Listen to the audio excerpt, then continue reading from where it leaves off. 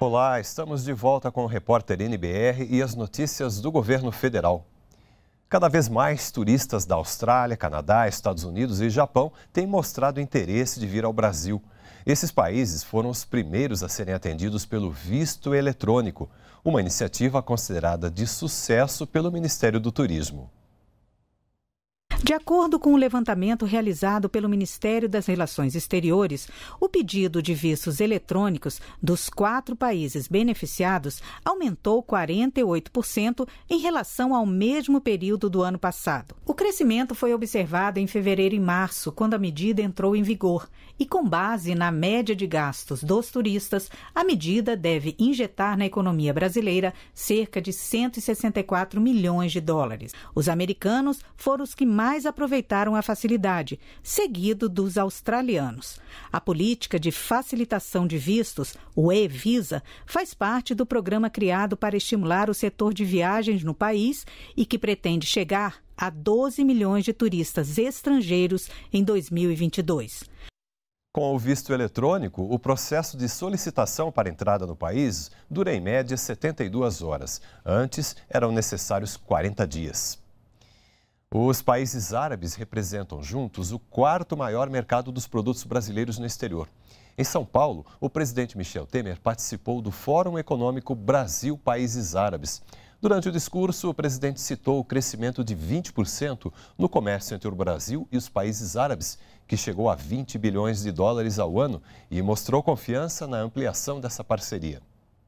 Um Filho de imigrantes libaneses, o presidente Michel Temer lembrou dos laços existentes entre Brasil e os países árabes, destacou as parcerias e a cooperação em áreas como energia e defesa e destacou que ainda existe grande potencial para ampliar e diversificar o intercâmbio comercial, que só no ano passado teve crescimento de 20%. Estamos negociando no Mercosul acordos de livre comércio com a Jordânia e com o Líbano e retomamos também conversas com o Marrocos e a Tunísia para fazer acordo de livre comércio. E queremos ampliar, portanto, e diversificar nosso intercâmbio comercial. Queremos alavancar nosso fluxo de investimentos.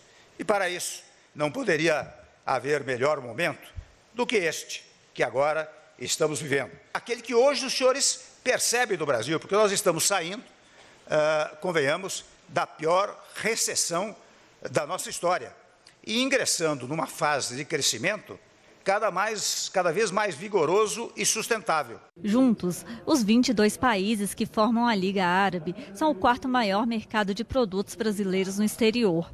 As importações e exportações entre o Brasil e os países árabes somaram mais de 20 bilhões de dólares em 2017.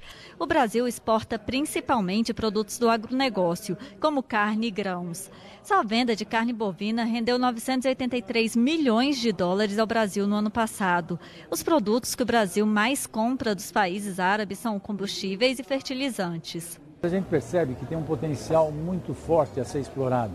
E para isso, só que para isso tem que se conversar, tem que se acertar, fazer acordos, uh, fazer troca de, de, tecnologia, inovações e tal, e discutir muito, né?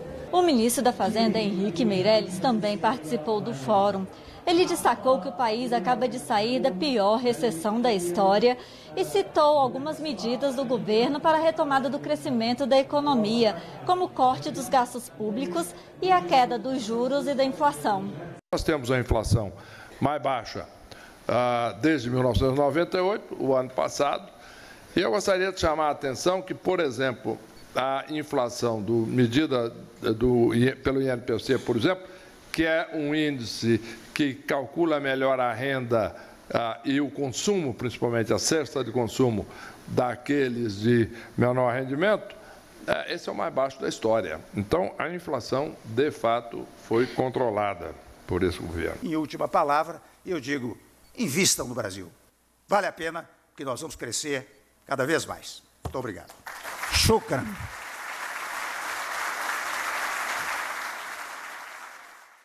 O governo brasileiro manifestou grande preocupação com a violência na fronteira entre Gaza e Israel no último dia 30 de março, que deixou cerca de 17 palestinos mortos e mais de 1.400 feridos.